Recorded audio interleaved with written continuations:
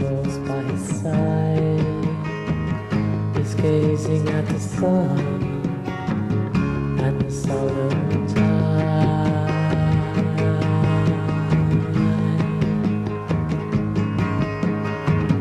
A Norman soldier riding the shores of France.